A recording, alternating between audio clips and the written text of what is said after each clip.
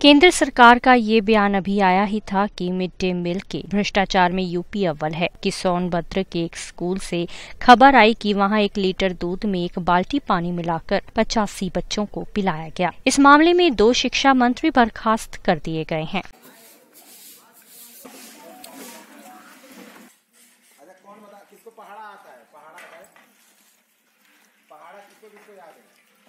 यहाँ पैकेट का दूध था और आ, मैंने परीक्षा की है माँ समूह के लोगों से भी जो यहाँ रसोईया हैं और उन्हीं के बच्चे हैं क्योंकि यहीं के लोकल लोग हैं। तो उनका ये कहना है कि हमेशा दूध मिलता है सर इतफाक़न यहाँ चूँकि दूध दूध की अनुपलब्धता के कारण शासनादेश है कि जो दूध जो अनुमन्य है खाद्य पदार्थों में पैकेट का उसको पानी मिला के उसमें डिस्ट्रीब्यूट होता है। एक संतुलित मात्रा में जल का।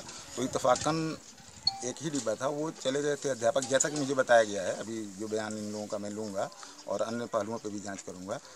तो वो इतफाक़न लेने गए थे। इसी बीच जो है आ, कुछ यहीं के लोग इस चीज़ को जो है पानी मिला के या कैसे ज़्यादा उस चीज़ को मीडिया में देना या उसको फ़ोटो खींचना खींच के मीडिया में देना इस तरीके की तो क्या लगता है क्या क्या सोची समझी रणनीति के तहत करवाया गया?